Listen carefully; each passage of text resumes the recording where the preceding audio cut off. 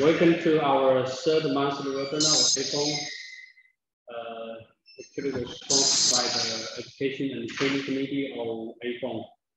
So today we are luckily we have two uh, one speakers and the moderator from both from Bangladesh. Uh, our moderator today is Dr. M.D. Akhtar. Uh, Dr. Akhtar is currently the chief medical physicist in the Evercare Hospital uh, Kanakland, Bangladesh. Uh, he's also the president of Bangladesh Medical Physics Association. Uh, Dr. Akhtar received his PhD degree in uh, uh, medical physics from uh, Maria Sklodowska Curie National Research Institute on, in College, uh, Warsaw, Poland. She also trained as a postdoctor uh,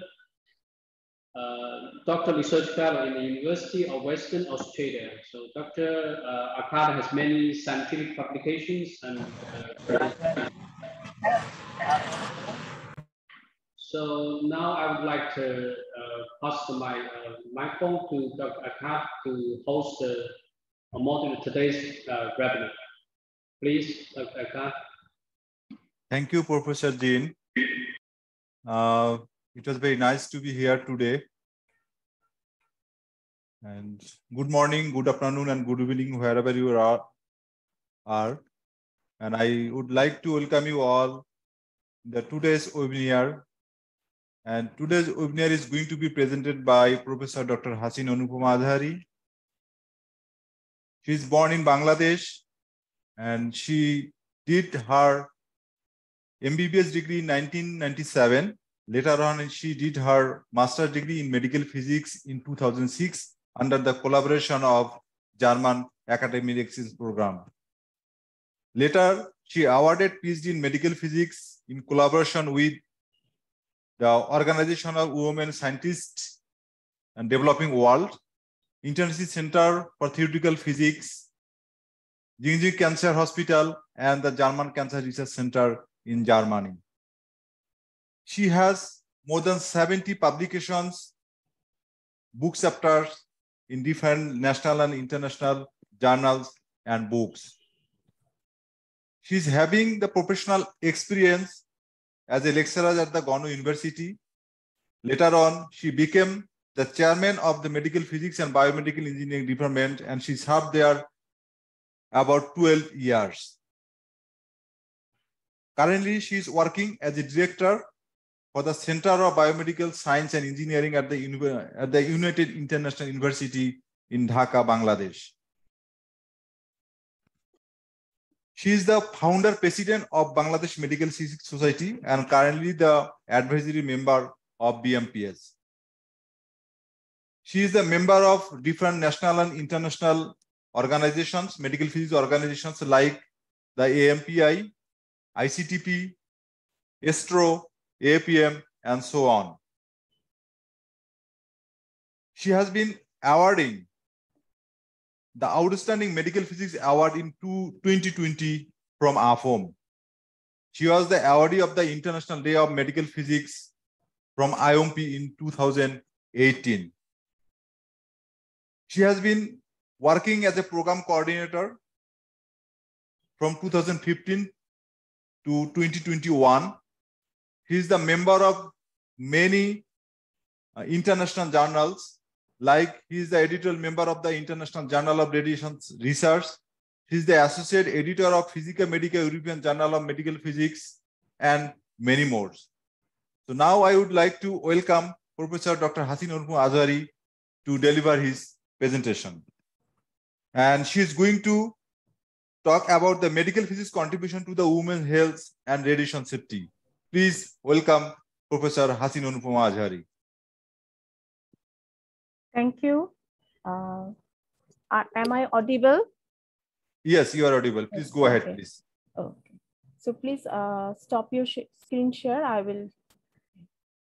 Thank you to all and especially AFOM. We are doing uh, great with uh, help of our ETC chair, Dr. Jean Chiams you know that's uh, I, I hope that was my previous uh, PowerPoint. So that time I was secretary, now I'm the vice president of AFOM. And uh, already Akhtar has given all of our, my credentials. So this is the thing which I would like to share with you about the women's health relation with radiations. That means I mainly focus on the pregnant woman's environment in our all arena of medical physics like radiation therapy, diagnostic, and nuclear medicine. So when we uh, tell about the medical physics, we must not forget about Maria Sklodowska Marie Curie. That's the very important thing. She is the first lady and first medical physicist who make this principle of physics in the field of medicine. And especially, he, she shows us by inventing a radiological car to help in medical wounded soldiers during the World War, First World War. So from here, we can see that the radiation are, are using in both diagnosis and treatment of disease. And that time, there were so many radiation accidents occurs. Uh, there was no radiation protection rules and many things. So here in these slides, in the following slides, you will see that's the what kinds of happen we happened and what kinds of accident and how we can manage this accident. Okay. Oh, one slide is not moving. Okay. You see that's the this is simple thing. Everybody here is medical physics. Everybody knows these things. So we are what we are doing.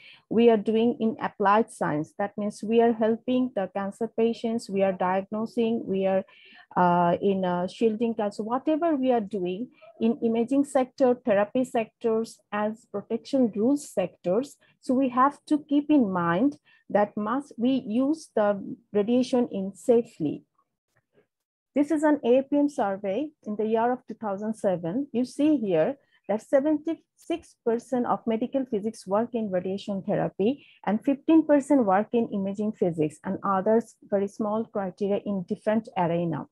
So you see that we people working in a radiation environment as well as the people, that means the coming to us for the treatment, they are also in radiation environments and also the people which we call the public.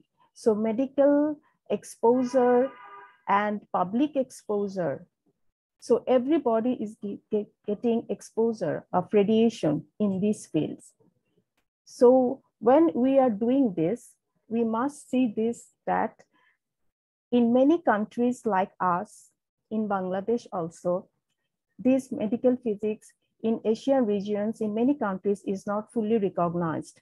So in that case, but we know that ILO has already recognized this uh, medical physics professional in a classification of occupation in 2008 out of 22 health professionals. So we are here to bring up, and this AFOM is here to bring up this slogan to all the people, government, and non-government. Otherwise, the radiation will be misused and misdiagnosed as well. There are many hazards will occur, which we'll see year, year after years, not like Fukushima, Hiroshima, like this accident. So we should be very careful on this thing. Now, I must say that here, everyone who has joined in our family, colleagues, everyone when every day going for X-ray, computer tomography, many things. And we also see in many research that uh, in computer tomography, the radi cancer is increased through the, from the radiation of CT. So there's annually about 3,600 million under people undergo diagnostic radiology, 37 million people under nuclear medicine, and 7.5 million people are going treatment under radiotherapy. And what we are using, this is the ionizing radiations. So this is the main problem of our radiations hazards. So how it do, and now the advanced technology is coming and we are using also in interventional radiology is now mandatory in Europe that the medical physicists must be there. So why these are thinking? Because when there is updated technology, we are using high energy ionizing radiations. And so there are main focus. We have a breakdown of cell, mutation of the cell, and many things will be happen.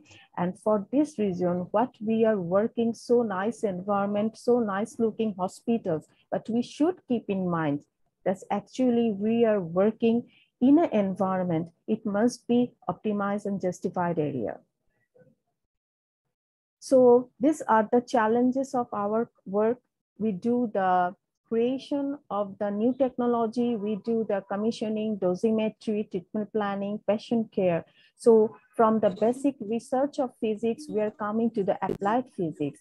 So everywhere that we must keep in mind that the safe use of radiation in medicine, either in diagnostic and therapeutic, this is our challenge. And the same time, we could, we are the people for the health professionals, for the patient.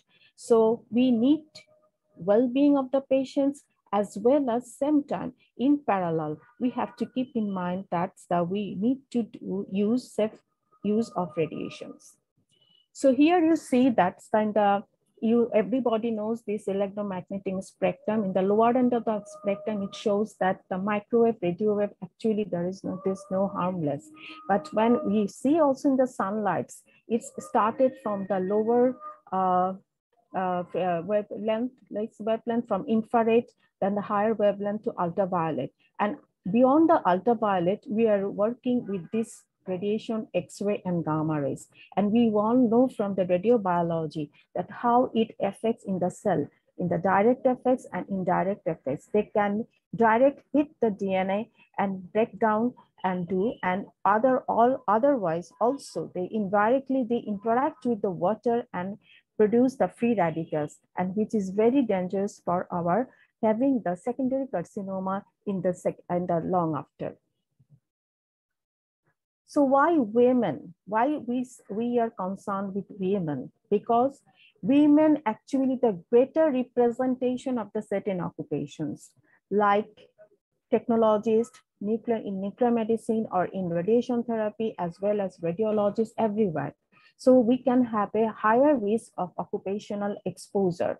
So occupational exposure is a very uh, term used by IAEA. So occupational exposure means what? That means we are working. We are working there and we, which we are taking, that means there's a medical exposure, those who are coming here for the treatment. So why we are going for treatment? like breast carcinoma, gynecological carcinoma, or any osteoporosis or any bone pain.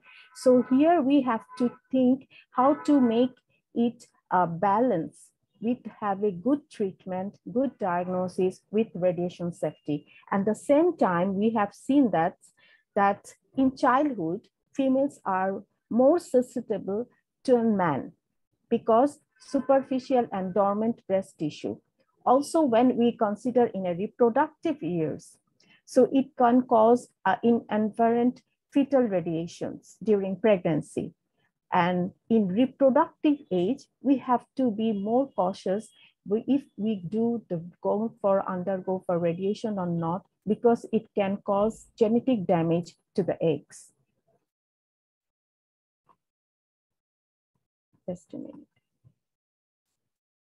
So what Normally, not women, everybody, especially women, we go to techniques when they're over 40 years of age to have a screening for the breast carcinoma because this is the highest rate of carcinoma is involving in the worldwide breast carcinoma. So we go for mammography. It also use the radiation, though it is a low dose X-ray, but we have to careful because the people who are working there, they are not working with only low dose radiation equipment. They also use the high dose radiation equipment also.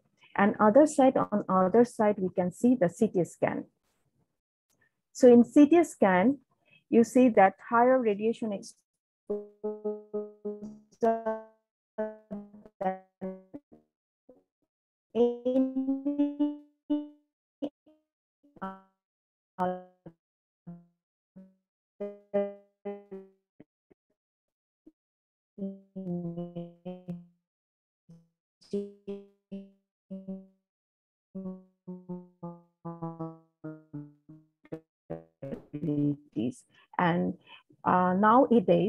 doctors already have now, when there is a radiation exposure, there will be increased cancer risk, there will be genetic mutations, and in case of pregnancy, fetal harm. But every time we have to keep in mind that which type of radiation we are using, what's the amount of the radiation dose, what is the duration of the exposure, as well as the age of the patients and health status of the individual. So this is the very important thing that durations, amount, type, age, and health in connection with the patient's status, which use which uh, which area we are actually in diagnostic or in therapy or in nuclear medicine. So we have to think about this, that radiation exposure potential risk, this can be happen. Here you see that when there is a risk, there is you, I think you have heard all about the uh, United Nations Scientific Committee on the effects of atomic radiations. They have assessing the, with data with the population dose distributions, the risk assessment. And also we need to note how to make this when there is an assessment. There is a data, we have a result, then we should do the management so how we managed when they see there's an excessive bad effects, then we have to reduce the unnecessary radiation exposure, promoting the occupational radiation protection, preventing the unintended exposure, and addressing the health workforce needs in the field of medical use of radiation. And lastly, we have to make a common strategy and protocol which support the benefit risk obligations which is called as a weak communication. And all of these prevention of the radiation risk, there is a conceptual framework of radiation protection. Here you see on the left side, we always in the natural radiation from break from the soil, from the grounds, we are always all the humanity getting the natural radiation. But the next step is large part of population getting the medical applications and medical applications and we are working here and large group of people also, not so much, but it's nuclear power.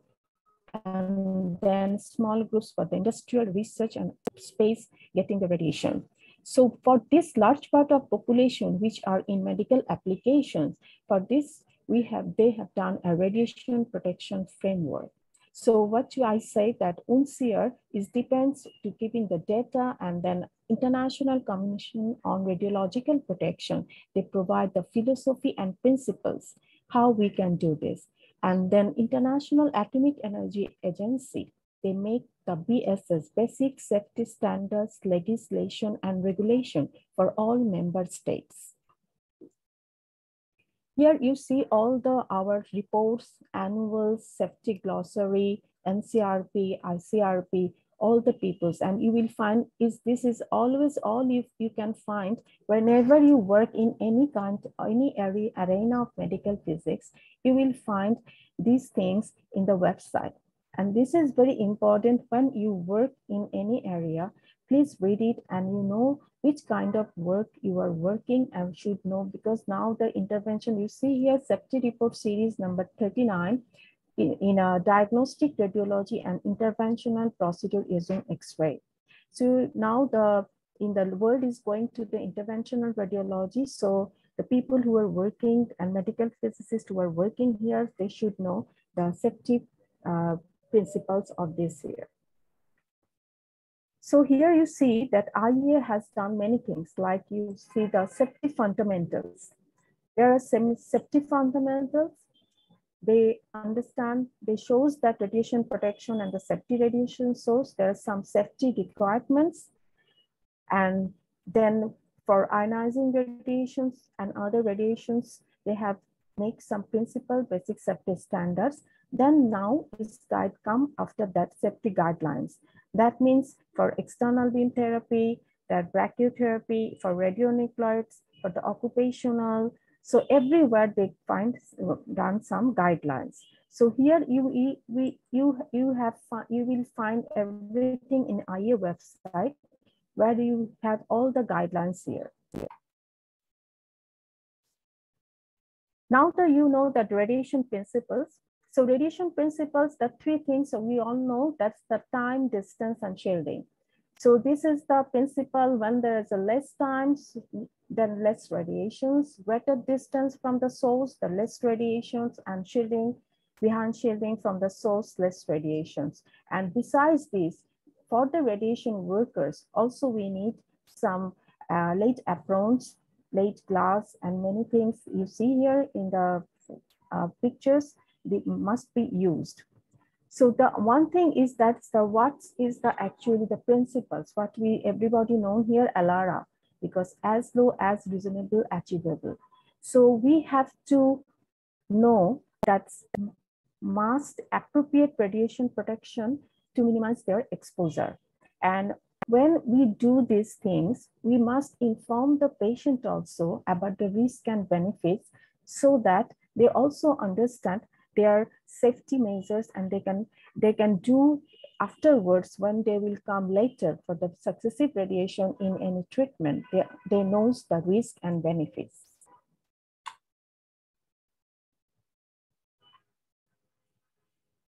So another is is justification. So justification you see that's the it's a net benefit.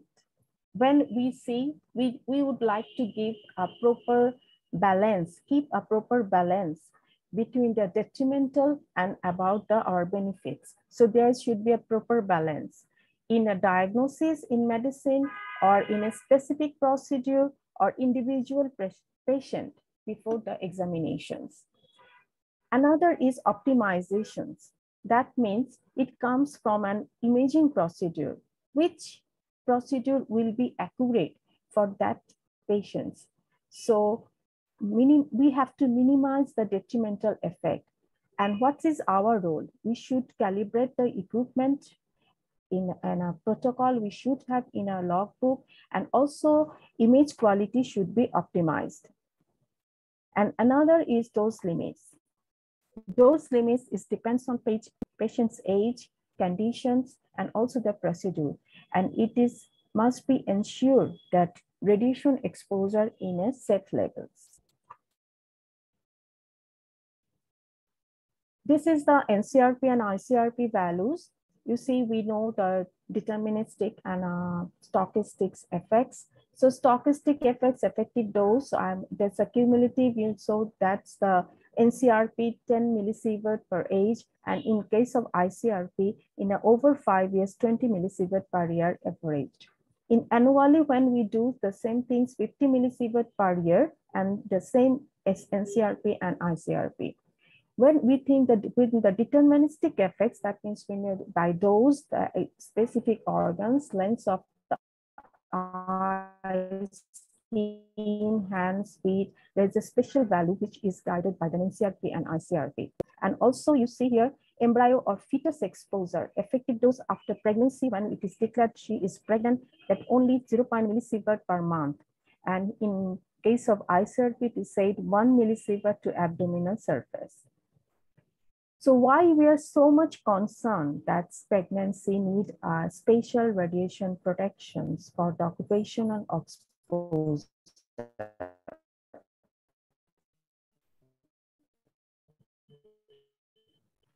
Because there are many types of exposure that must be done because for any radiological examination on nuclear medicine or in cardiac catheterizations or sometimes it's accidental exposure, some when we are working as an occupational exposure, and sometimes nobody knows that women in, is, may, uh, is in reproductive age, but goes under radiations.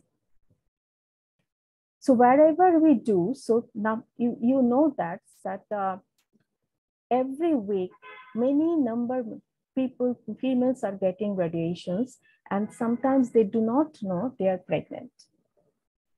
And these are the ionizing radiation each year, thousands of pregnant women are exposing. So this exposure sometimes affect the unborn child. So what are the guidelines?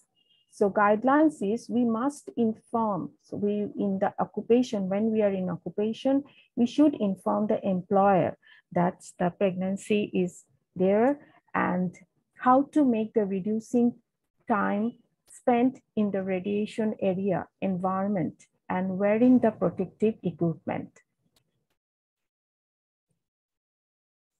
Here you see when a uh, medical exposure in a pregnant woman has been done, you see that from the 2 to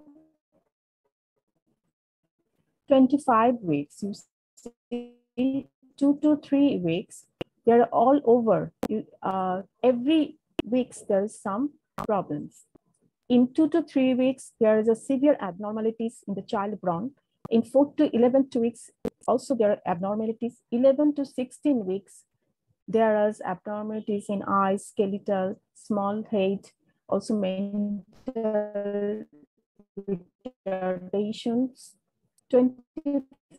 25 weeks, the central nervous system is very sensitive to the radiations, structure abnormalities, and as well because the already organogenesis has been done. So here, when we give the fetal dose in the range of the one grade, severe mental retardations occurs in the children during the 8 to 15 and to a lesser extent in 16 to 25 weeks. And two weeks till term, if we give the uh, radiation, it goes do the growth retardations. So normally the childhood cancer also occur if the fetus exposed with 200 to 250 millisievert. So there are every steps of gestational period, the uh, and women got many kinds of problems in her child, birth child. So we have to keep aware of these things and we have to very cautious when use radiations.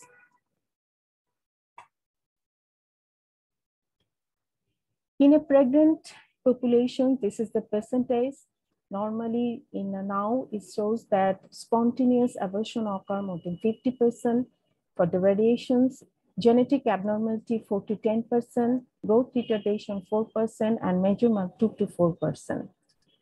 When there is a, when we see that, we say that's when we do the termination of pregnancy, one, in which uh, of the radiations. When there is a less than 100 milligray, it is not, not justified uh, is based on the radiation rates. When there is 100 to 500 milligray, there can be a fetal damage, but its decision should be based upon individual circumstances. It depends on the dose and stage of the pregnancy. When there is a late pregnancy, that means when high fetal dose, 100 to 1000 milligray, normally there is no malformation or birth defects occurs. So for the emergency exposure sometimes will be needed. So the saving and equivalent saving dose is 0.5 millisievert to a large portion of the body.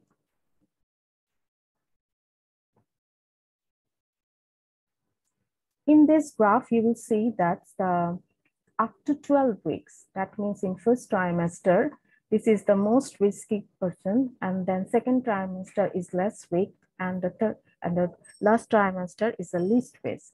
So up to 12 weeks, you see all the prenatal rate, congenital abnormalities, neonatal deaths, and also the blood cancer, leukemia is a, and when the advancing the later uh, stage of the pregnancy, the radiation risk is uh, decreasing.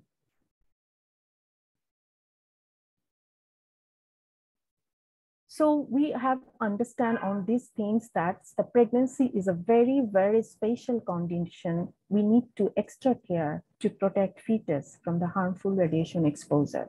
And for this reason, the occupational exposure the people can must wear a monitor. It can be a passive or it can be active. And passive monitor, usually the dose reading has to be monitored at the end of the day or month but active monitor is very good than the passive monitor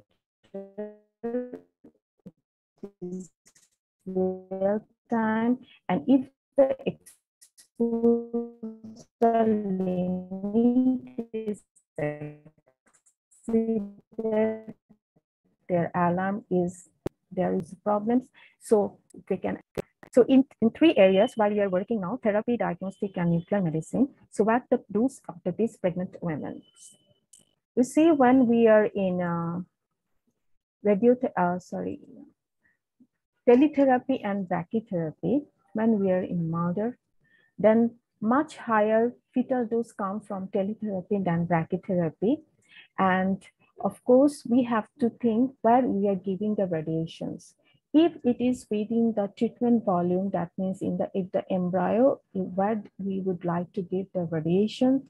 So here the prescribed dose is very important. We know the dose is a function of the prescribed dose and distance from the age and center of the treatment field of the embryo fetus. And we must keep in mind that two types from two components we are getting those. One is patient's internal scatter as well as leakage scatter and treatment scatter. So we have to think that this all dose is going to that embryo when we are giving the embryo site radiations. When also the near the uh, abdominal uh, area, like in breast, if we would like to give the radiations. So in early pregnancy, is uh, you see here in early pregnancy, we approximately the distance must be 40 centimeter from the treatment field center in late pregnancy, 10 centimeter. And here you see that. And when do the brachytherapy, brachytherapy is very, you, we have temporary implants as well as permanent implants. So it must be given that the dose rate should not exceed seven depends on the which kind of radio radionuclide are using and where is implant. And also in permanent implant, you see that's the when the patient release normally after several days of implant. So radiation safety officer must give a very good instruction that, that they should, should not do any breastfeeding when to for there are many publications you have seen here in this table. You see that the irradiation site is not in the abdominal, in pelvic flank, abdominal pelvic, but there are many advanced pregnancy occurs like low birth weight, small gestational age, miscarriage, preterm delivery, threatened abortions. So many things is happening. So you see that's the when uh, whatever we do or not do, but we must care that the radiation risk is very important.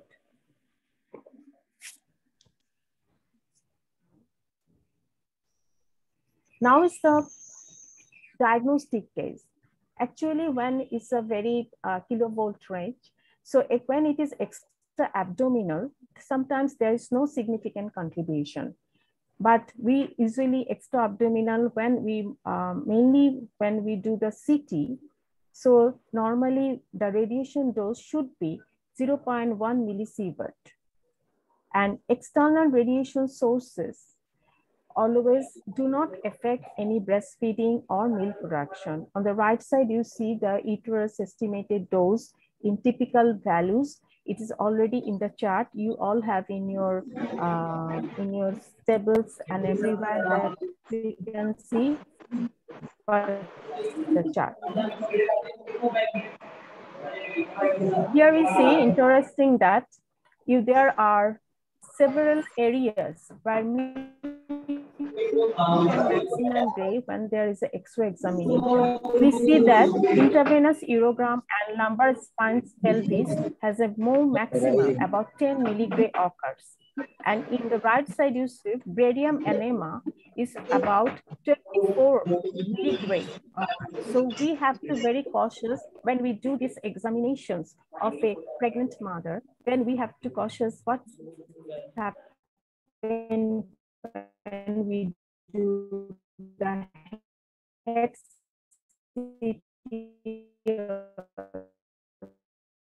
chest CT or abdominal CT, we have those offer actions. Now you see this chart, when we do the fluoroscopy, we know everyone that when the X-ray tube is behind the table, you see here, then when the radiations is uh, more less, but The dose rate without lead apron here is less, but dose rate behind the lead apron is more, about 20 millisievert. But when, when the, uh, the radiation tube is above the table, then you see here dose rate without lead apron is about 15, but behind the lead apron is opposite. So we have to keep in mind that the occupational exposures uh, getting the radiations, how much and how long. So the monitor is very, very important that when we do this kind of treatment going to production benefit, but we should think also ourselves that how to make radiation safety.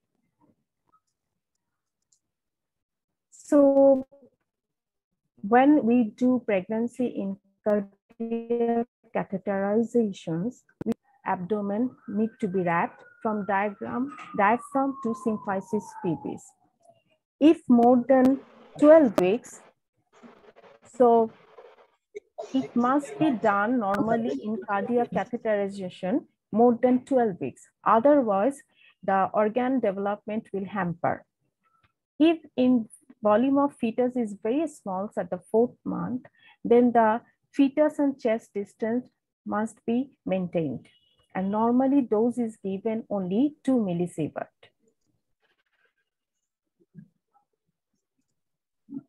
Now come in the nuclear medicine. In nuclear medicine, you know that the, what we are the radiopharmaceutical use will all cross the placental barrier. So diagnostic, when we do the nuclear medicine diagnostic purpose, other than radioiodines, it will be 10 millisievert. Here you see the charts, that's the 131 iodine in thyroid case, in whole body, how much is the less than eight to nine weeks. Normally thyroid is not functional, so it will not help uh, harmful, but three to from three to four months and six to nine months, there is specific millisievert has to be given to the mother. And again, in the whole body, so less than three months is the 27 microsievert and three to nine months, less than 55 microsievert is given to the conceptus. Also, these radionuclides are excreted in breast milk. So breastfeeding is suspended when they undergo this therapy even completely suspended when it is uh, tricked by the iodine 131 and they can start breastfeeding three weeks after iodine 125 gallium 67 natrium and thallium 201 and after four hours when treat with the technetium 99 metastable then after four hours they can have a breastfeed. So more mainly uh, when the for the pregnant patient, shortly radionuclides are used that do not cause any large fetal dose and all hydration and encouraging voiding of urine. So here you see the some basic principle that you know that's when we do this uh, radioactive particles we used in nuclear medicine. Sometimes it is fallout, sometimes it is inhaled through the lungs, or it is contaminated with food and water. So, so there are many uh, uh, that you must somewhere under a roof where there is less radiation. Maybe you can stand behind a column or around a corner or behind the table so we can have radiation. Also in and another thing is that that preconceptions when for uh, there is no pregnancy for any any other parents, man or woman, do not have any effects from the radiation from gonads. And also reproductive age, you must see that stuff we have to know which kind of treatment method we'll use other than the radiations, like ultrasonogram or MRI like this. And diagnostic investigation dose can be considered, but only cancer induction probability. And we should know the confirmation of the last menstrual period. And the young workers when there are many young workers working in our uh, various fields of medical physicists. So then that case, we must remember no person under 16 will be subjected to the occupational exposure. Under 18, they can allow work, but only in controlled area for training purpose.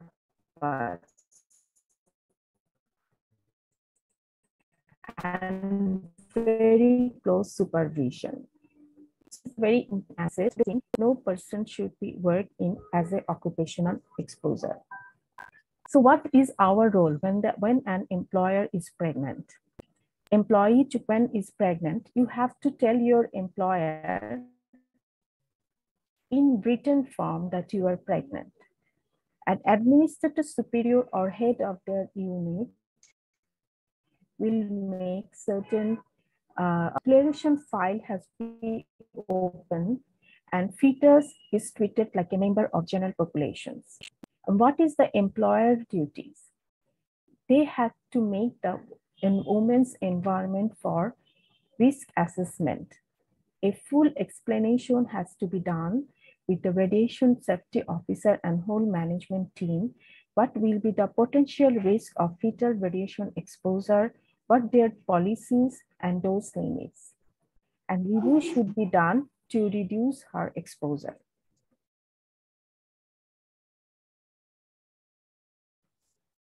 there, there should not be no research on pregnant patients will be discouraged.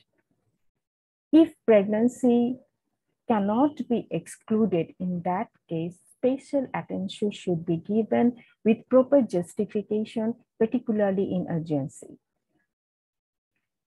So what proper shielding, dose monitoring, alternative image modalities, and radiologists must know what's the background on why they are doing with proper rationality is very important for the imaging of the female patients. You know, in 1978, in Pregnancy Discrimination Act was passed. That time, that a policy has been issued that bans the pregnant women from working in their radiation facilities. But now, that time some women were uh, staying away where, where the environment acceptable. But now the IAEA discourage this discrimination. Instead, the agency encourage hospitals to allow an expectant woman to continue working in her regular setting, provided the fetus is not exposed to more than one millisievert during gestations. And this woman should only continue to work in a radiation setting of her own volition, not because an employer mandates it. So we should know this. So because there are many women medical physicists working here and also many technologies. We have a team and many people, women people, females are working. We are getting also female patients, children patients, as well as reproductive age patients. So we have to cautious from our side and also be conscious. And if they bring any mistake, we make them understand so what things should be better for them. So now the NCRP recommends that occupational radiation fetal dose limit 5 millisievert during entire pregnancy, eh, but with a daily limit 0.025 millisievert and less than 0.5 millisievert per month. And on the other hand, ICRP recommends less than one millisievert in total during entire pregnancy. And when there is a surface of the women's abdomen, that means in lower trunk, for the remainder of pregnancy, they can get two millisievert. And when there is a declaration of the pregnancy, the fetal dose never exceeded one millisievert during the remainder of pregnancy. In general, these limits are achievable with proper precaution in place of fetal dose limit.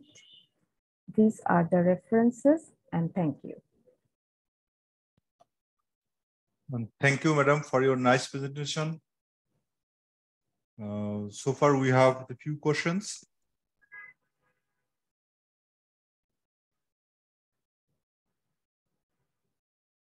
Uh, the first question is from uh, Devulina Mukherjee. Uh, she's asking the still women medical physicists are discriminated at workplace, especially married ones, and in many private hospitals due to odd working hours, late nights. So they are not getting jobs. What is your opinion in this regard? Uh, thank you. I think uh, I say that in my uh, uh presentations that in many areas. I think that uh, many countries still not medical physicists are not well not recognized and well not understood. So it's our duty because we have a radiation safety officers in every hospitals.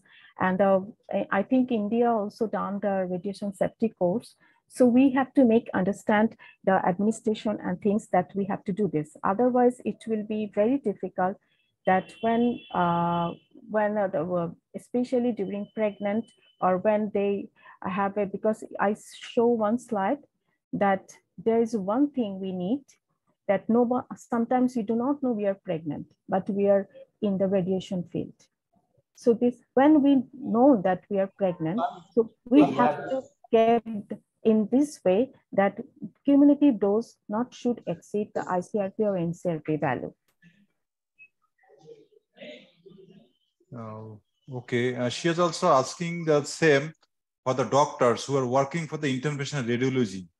They are also facing the same problem due to the odd duty hours. Could we have to comment take, on that. Actually, uh, we have to take more medical physicists. The admission should understand because in corporate uh, structures, uh, the thing is that uh, we are uh, we are keeping less med medical physicists but having more duty. So there, if there is a shifting duties and they understand this, I think it can be because interventional radiology is a very important thing, and there is also high more radiation you can get. So you have to, we have to understand when we'll be more in radiation area. So we have a more cumulative dose. And I think everybody use in Bangladesh, we do not, uh, some, some area we use the monitor, but everybody should use monitor uh, so that they can calculate the dose at the end of the month or and these things. For the pregnant woman i'm telling this. Otherwise we have a TLD everywhere is using and we know how much dose we are getting. It is also the way we can know understand that whether we will do the more work or less work. Okay thank you madam. So the next question is if CT suggested examination for the female especially for the age of 15 to 16 years does it account in any way for any reproductive abnormality in future? Sorry, I have to see the question. Okay, I can see. Uh... The question is, if somebody has to go for the CT examination at the age of 15 to 16 years, so it, anyway, does it sounds any reproductive abnormality in future? It depends better to avoid in uh, 16 years or 15 years. Better to avoid, I say. But there is other uh, non-ionizing radiation, you can do it if the doctor said it must do. But but, but you know that's the it's you done in one yeah only one time here one day. But if it is cumulative, many times you are doing, you have to must make an uh, note that how many times she is undergone these things. So, and how much dose she is receiving. This is also important because when we, uh, the general people go to the doctor and say to that's for CT examinations. So those is a one type of matter. So better to avoid in 16, 15, 16 age to have a CT examination, otherwise obligatory. Okay, so the next questions from KM, KM Masudurana. What is the criteria for the image quality optimization in aspect of the radiation safety to the patient group? Image quality optimization, you have to, uh, is uh, you know that's the you uh, you best quality pictures with minimum radiation. This is the optimization in the radiation safety needs. So best quality pictures when you think that's you first decide that's the first doctors radiologists decide which kind of area he will go. And the thing is minimum radiation and with best quality. So this is a, the optimization should be done in a such a way that uh, dose must reduced but with best quality. In here, sometimes we see, we know that when you give more radiation dose, you have a good pictures. Okay, thank you. But uh, when you give the less dose, you will not get the good. But hello. Yeah. So the next question is uh, during the COVID times, many pregnant women may have undergone CT imaging, and etc.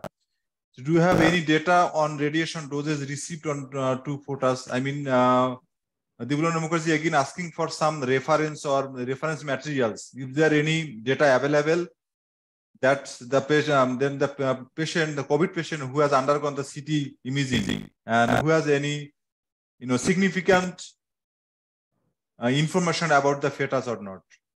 So, yes, I, I have shown some uh, publications, but you will find more many publications and already in some uh, research has done in America, USA, uh, that's the, when you undergo the CT uh, examinations during pregnant, there is some malformations and man formation of organogenesis. I think you will find also in you or if you, you think, then I will send you in your email.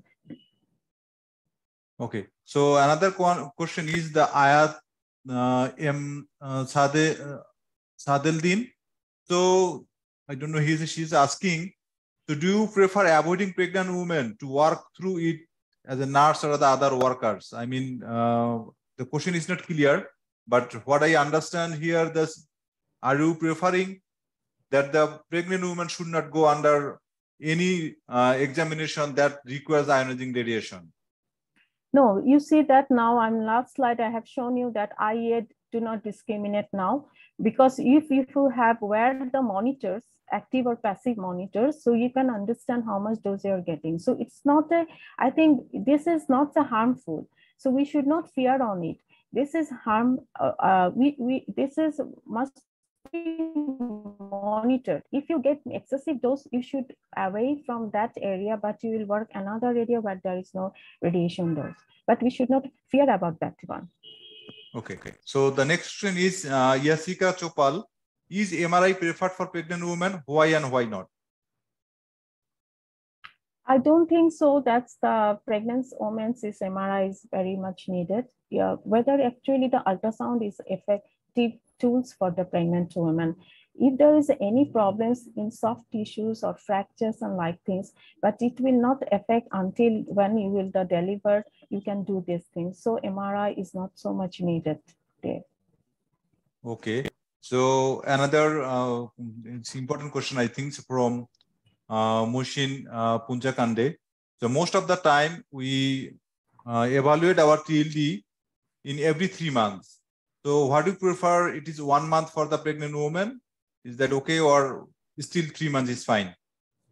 I think uh, monthly is very good because uh, for pregnant women, uh, better than three months monthly, it will be better monitor. Or if you do use the active monitor, so when the dose exceed per day, then you will have a um, alarm will be there. So you will get to know that's what uh, you should be avoid that environment. Okay. So another question is, is there any uh, particular dosimeter you prefer for the pregnant woman? Uh, no, I, no, I, no, I can't say that because uh, um, the, the Atomic Energy Agency actually which give you all, on all the hospitals, I think this is enough. but uh, there are some uh, alarming dosimeter you must wear of the pregnant woman, I think so. But what we are using, that is not an alarming. So if there is any alarm uh, use in the dosimeter, that will be more preferable. Okay, so another question is, this is related to the linear accelerator. So pregnant woman can go inside of the plan implementation, I mean, inside of the linear GUM or not? Yes, of course. You can do everything, but you have to monitor your dose, whether it is higher than what's the recommended dose of ICRP in circuit protocols. Yeah, so that's the last question. I think we got a very fruitful information from you regarding the safety for the women, especially for the pregnant women. And definitely the message, uh, you know, is decimated